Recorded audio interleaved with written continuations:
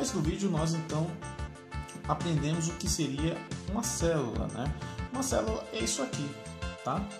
É uma bateria, tá?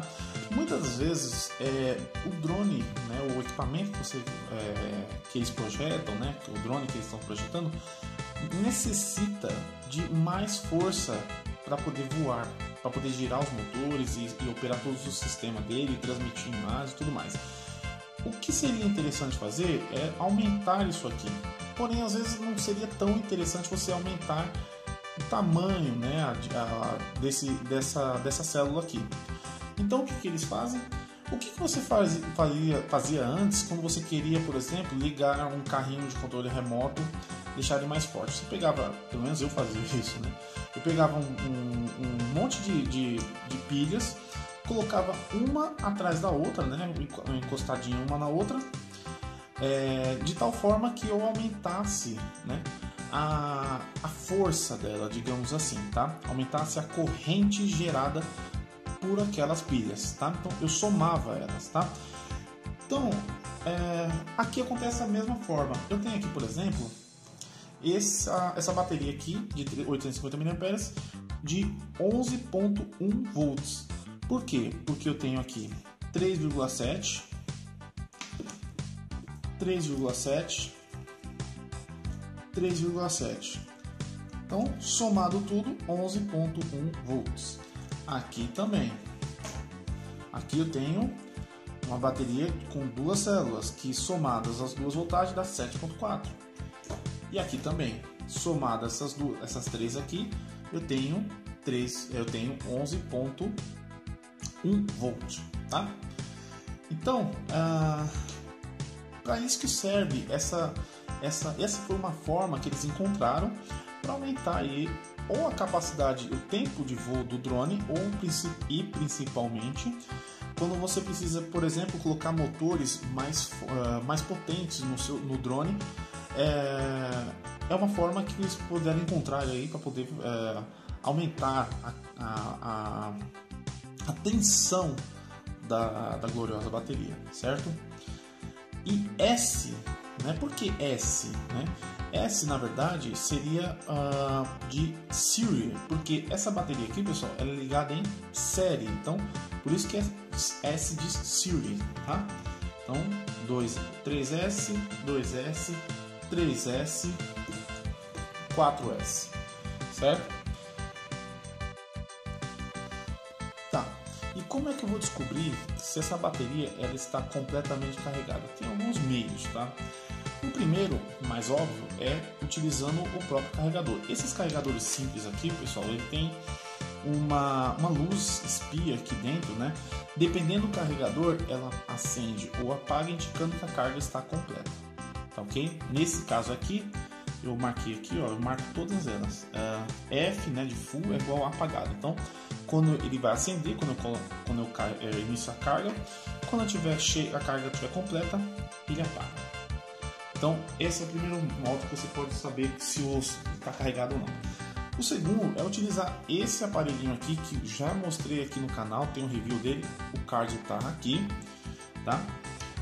Você apenas conecta ele aqui e você vê a carga que está na bateria. Aqui vocês estão vendo 4.23, é, arredondando 4.2, ou seja, ele está com a carga máxima, está completamente carregada. Tá? Uma outra forma é utilizando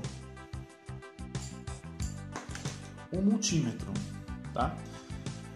É, isso aqui, pessoal, é um instrumento, como eu já falei em outros vídeos, né? No vídeo de uh, falando sobre sobre é, como carregar a bateria, isso aqui é um instrumento é muito útil também para quem curte modelismo, quem gosta de drones, tá? Através dele, você colocando aqui no número 20, né, voltagem 20, que é a, a, resolução do, do, aparelho, você pegando aqui a sua bateria, colocando o vermelho no, no positivo, preto no negativo, você vai ter a leitura lá na tela. Se consigo fazer isso com uma mão só. Tá aí, quando seguir, finalmente.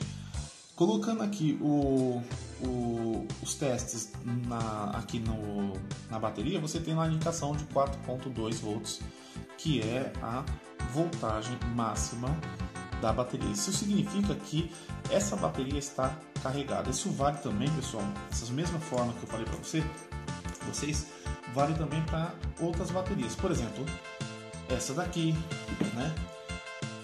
Essa daqui, da mesma forma, tá? A única, a única diferença vai ser o ponto de checagem dela, certo? Então, quando você ouvir a partir de hoje, ouvir, ah, vou comprar essa, esse drone vem com uma bateria de 3S, ou seja, são três baterias dessa, né, com essa voltagem de 3.7 volts, num único pack, que transforma a célula em, ela transforma a bateria em, em deixa a bateria muito mais forte, muito, com muito mais tensão, tá? Aqui vocês podem reparar que ela tem é, esse cabinho aqui. Esse aqui é o cabo do balanceador, tá? Para você, é, eu fiz um vídeo falando sobre é, balanceador de, de, de bateria. Mais uma vez, vou deixar o card aqui em cima ou na descrição do vídeo. E essa daqui é o que vai efetivamente, esse cabo aqui é o que vai efetivamente ligado no drone. Esse aqui que alimenta e esse aqui que você balanceia. Por quê? Porque é o seguinte, cada uma, se, cada uma dessas células comporta como se fosse uma bateria dessa. Então, às vezes acontece o quê? Que uma dessas células aqui, por mau uso ou até por um defeito mesmo, essa daqui fica com 4.2 volts após, após, após carregada, 4.2 volts e uma voltagem menor nessa daqui, por exemplo. Eu vou, eu vou mostrar aqui para vocês um exemplo de uma falha de uma dessas células. Aqui eu estou com um carregadorzinho que você pode uh, adquirir bem baratinho, muito importante você ter um desse. Conecta aqui. Está mostrando aqui três células, 12 volts. Célula número 1 4.2, célula número 2 3.8 e célula número 3.7. Ou seja, elas estão desbalanceadas, tá? Então eu preciso colocar a mesma quantidade de energia em cada uma delas. Isso eu faço através de um carregador inteligente, certo? Já aqui, ó, por exemplo, essa daqui vai ficar pitando. Por quê? Porque ela está com problema. Uma está com 7.6, 3.8, 3.8. A célula número 3 ó, está descarregada.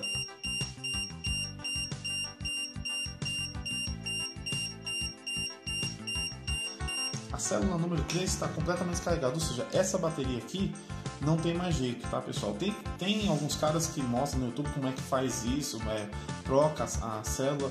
Eu recomendo, pessoal, para evitar problema, para evitar de isso aqui pegar fogo, recomendo, super recomendo que você descarte a bateria. Daqui a pouquinho a gente vai falar sobre como você descarrega, descarta a sua bateria. Outro número ou informação que aparece aqui na bateria é esse aqui, ó, 20C, tá? Que pode ser 20C, pode ser 30C, pode ser, nesse caso aqui, 40C. O que seria esse C? Nada mais é que a taxa de descarga da bateria. E assim, para não deixar, para ficar bem simples de entender, a taxa de descarga nada mais é do que a capacidade que a bateria tem de entregar a a, a voltagem ou a tensão para o, o pro drone. Basicamente, sem, sem mimimi, é isso, tá? Quanto maior esse número, maior vai ser essa capacidade. E esse número aqui é interessante por, quando você, por exemplo, está voando com drone racer, porque drone racer, às vezes você dá um punch, que é aquele, aquela, aquela aceleração abrupta de motor, né? Que é muito comum, se faz muito isso, muito natural de, de, de drones racers. Uh, então, para isso, você tem que, como ele às vezes precisa de muita energia de um, um, tempo muito curto, maior tem que ser esse número aqui de C. Uma coisa super importante, pessoal, em bateria, e que é um dos principais focos do vídeo aqui, é justamente a conservação dela. A bateria de lítio, como eu falei, ela é bastante. Ela é cheia de frescurinha, tá? Ela é muito eficiente, né? É, transmite uma, uma, uma corrente boa, uma capacidade boa, como a gente falou agora há pouco, mas ela é bem frescurentinha, tá? Ela não aceita, não tolera muito esquecimento, tá? no vídeo que eu falei sobre é, taxa, é, é sobre a, o carregador de, de inteligente de bateria, né? Uh, eu falei um pouco sobre o, o, porquê que você não pode deixar largar assim sua bateria uh, de qualquer jeito, né? Essas baterias aqui, pessoal, elas não toleram é, ficar muito tempo nem muito carregada, totalmente carregada, e nem totalmente descarregada. Na verdade, ah, quando você faz qualquer um desses extremos, né, deixar muito tempo carregada ou muito tempo descarregada, ela começa a produzir um, uma começa a produzir um gás, né? E esse gás faz com que ela fique estufada igual nessa imagem que vocês estão vendo aqui do lado. Vocês percebem como ela está bem gordinha, né? Essa bateria. Isso pode acontecer em qualquer uma, pode acontecer nas grandes